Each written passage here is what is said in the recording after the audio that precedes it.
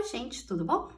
Hoje eu vou ensinar para vocês a fazer esse martelo do Minecraft, tá? Que eu tirei esse desenho, fiz uma adaptação ao traço para que caiba num quadrado. E atrás eu peguei uma caixa de cereal e colei para ficar mais firminho. Legal que dá para brincar também, né? É só colocar um papelão atrás que fica tranquilo para usar para brincadeira, ok? É... Como é que a gente vai fazer esse martelo? Bem, primeiro vocês vão fazer o quadrado, lembra? No papel, aquele todo quadriculadinho, e depois vocês possam, podem até passar o lápis, tá? Só que diferente dos outros desenhos que a gente fez ele assim, a gente vai fazer ele assim, ó. É, eu vou mostrar meio que pintando, tá? Eu tô usando aqui um, um lápis de cor da Faber mesmo, que eu comprei. E é isso, vamos começar porque ele, ele é mais trabalhoso. Como é que a gente começa aí? A gente vai usar quatro cores. Vamos usar o preto, o marrom, o azul, o verde água o azul piscina, tá? Que é aquela cor mais clarinha. Como a gente vai começar? A gente vai começar primeiro com o marrom. A gente vai pegar aqui na ponta de baixo e vai pintar é, esse quadrado aqui, ó. Eu vou pintar de qualquer jeito mesmo, que eu só tô marcando não vou pintar tão bonitinho, mas se vocês quiserem pintar bonitinho, é só fazer aquele esqueminha, né, que eu já ensinei pra vocês. Pinta toda a volta, assim, ó.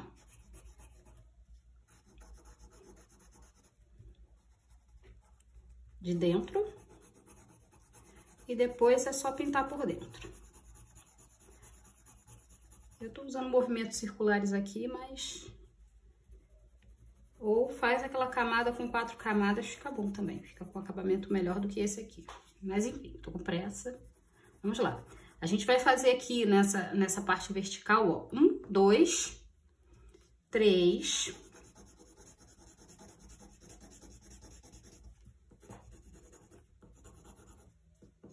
E quatro.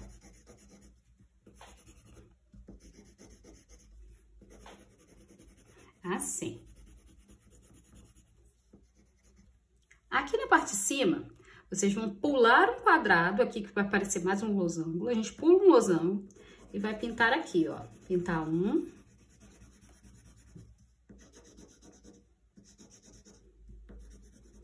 E pintar dois. Pra baixo. Bem no centro.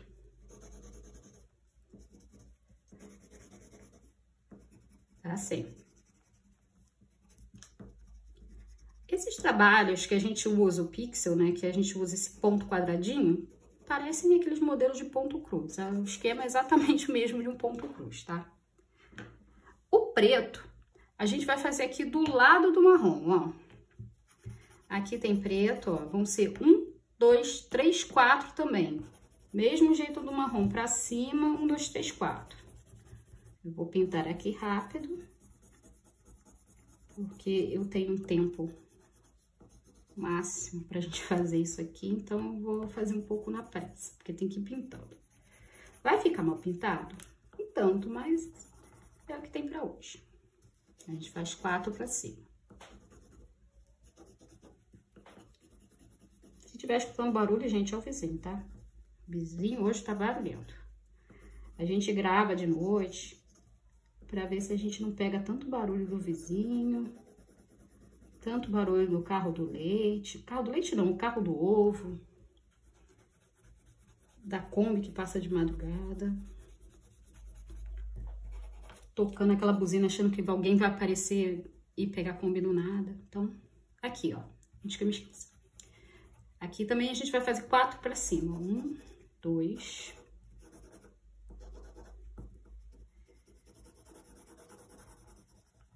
Três...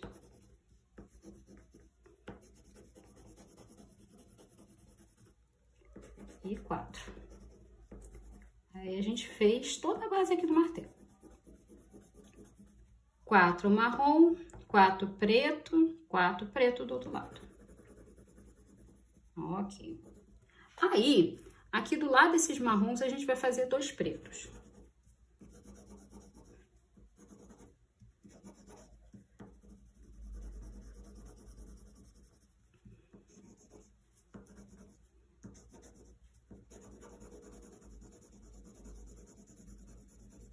Podia fazer acelerando? Podia, mas eu preferi explicando, mais fácil. Bom, a gente já terminou aqui o uso do preto. Aí, agora a gente vai usar o azul, azul claro, que é esse aqui, ó. A gente vai fazer aqui, ó, embaixo desse preto, um cubozinho de azul.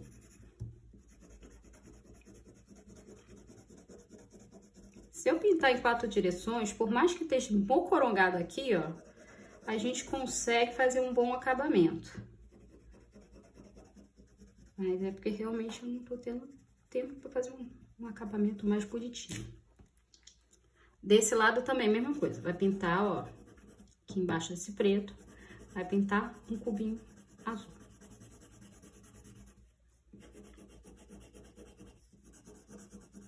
Também você pode pintar meio mocorongado e depois ir dando um acabamento, gente. Fica a critério de cada um. Eu tô pintando mal pintado por pressa. Assim. Aí, a gente vai pegar, ó. Aqui a gente tem um branco. Aqui a gente vai ter o quê? Pintado de azul também. Aqui a gente vai pintar essa área aqui, ó. Veio pra esse lado, tá vendo? Aqui, ó. Do ladinho. Um branco aqui. Vão ser três. Vai deixar um branco aqui fora. Vai sobrar um branco aqui um branco aqui. Aqui vai sobrar um, dois, três, quatro e aqui um. E vamos pintar de azul. Três cubos. Ou três pixels. Ou três quadradinhos. Não são três cubos, são três quadrados. Não tô fazendo, falando besteira. A gente pinta três quadradinhos aqui, ó. Assim.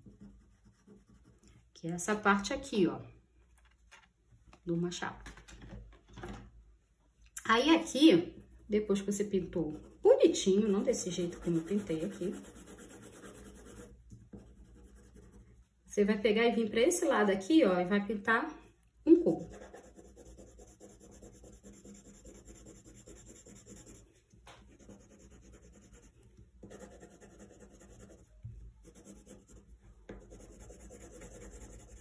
Assim.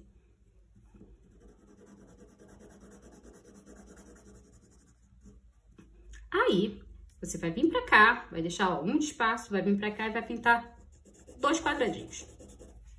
Assim, esses dois quadrados daqui, que vão ficar bem aqui do lado desse preto.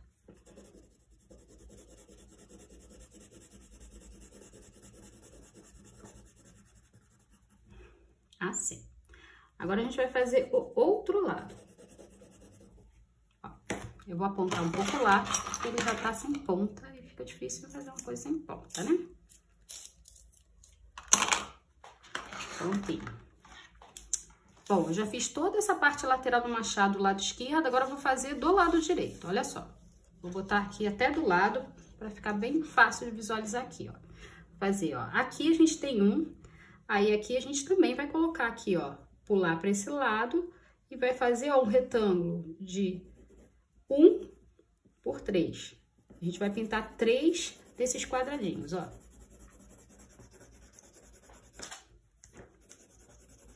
Pra mim é bem ruim pintar assim, mas o que, que você pode fazer? Eu acho que pra vocês vai ficar mais fácil de visualizar o que eu tô fazendo. Mas aqui eu vou dar uma...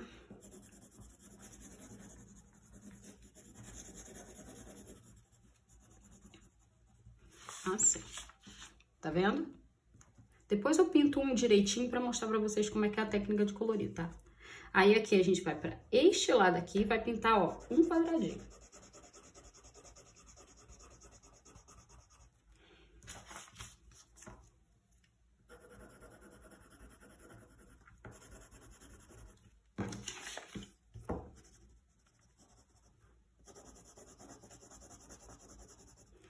Assim. Aí, a gente vai vir pra cá, ó, vai pintar mais dois quadrados.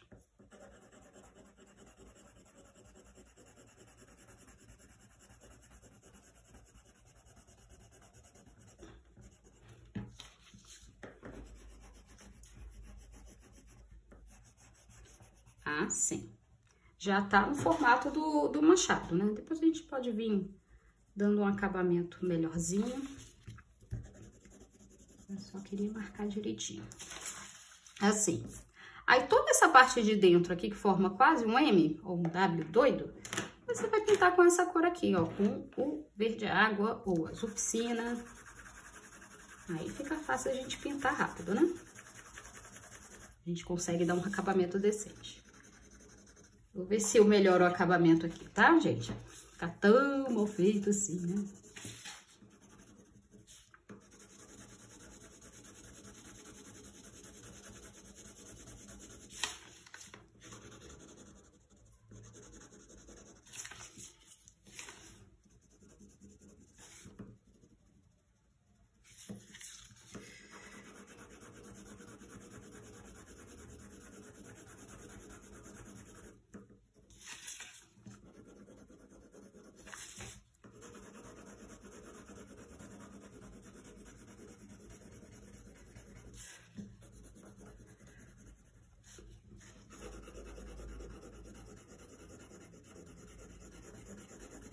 Aí a gente pinta aqui, ó, toda a parte de dentro. Assim. Não assim, desse jeito, né? Vocês melhorem o acabamento. Quanto mais bem acabado ficar o negócio, melhor fica o trabalho final. A gente odeia quando acontece isso. Aponta o lápis quebra.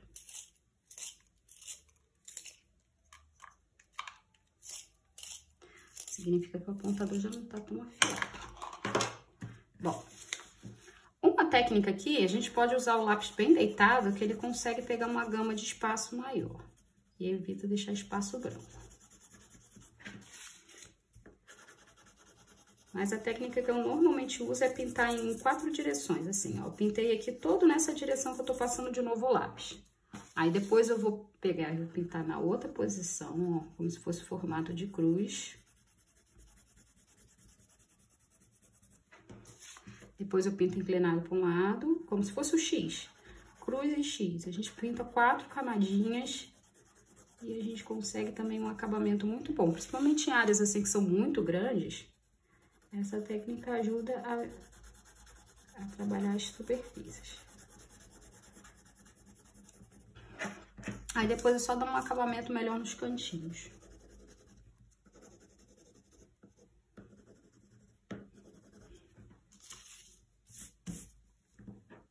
Nem esse azul aqui, eu vou fazer nessa área do azul, que ficou mal feita pra chuchu.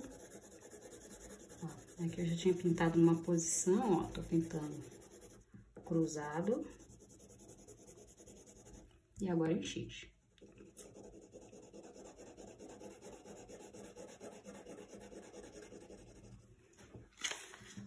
Às vezes eu ensino essa técnica para aqueles lápis bem mocoron que não tem pigmentação, eles conseguem dar um acabamento um pouco melhor, mais homogêneozinho. Porque eles não soltam muita tinta, né? Ainda deixando o buraco, fica um negócio tão feio.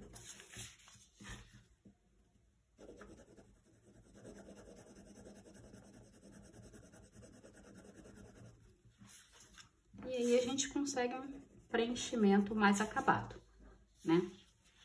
Que a gente vai pintar isso tudo direitinho, obviamente, pra gente conseguir este efeito final aqui, ó. Onde a gente tem aqui, ó, um, dois, três, quatro marrom pra cá, pula um, um, dois. Vamos fazer um, dois, três, quatro, preto, um, dois, três, quatro, preto. E depois dois pretos aqui. O azul vai ficar encostado aqui desse preto, três aqui, um, dois. Três aqui no canto, um pro lado e dois. Depois vai preencher toda essa área do meio aqui, ó, com o verde água, tá ok? Aí depois cola num papelzinho mais durinho, num papelão que tiver em casa, né? Porque tem que ser o que tem de casa mesmo. E assim a gente consegue um martelinho que é legal até para brincar bastante tempo. Porque quem não gostava quando era criança de brincar de brinquedos de papel? Eu adorava. Enfim. Bom, esse é o vídeo de hoje. Não esquece de deixar o like, né? Vamos lá contribuir para o canal crescer, né, gente? Pelo amor de Deus, né? Se inscreve, Curte a Tililha nas redes sociais, eu sempre tô postando vídeo novo, assim que eu faço, né? Vamos dar esse apoio, vamos dar essa força e até o próximo vídeo. Um beijinho, um abraço para vocês.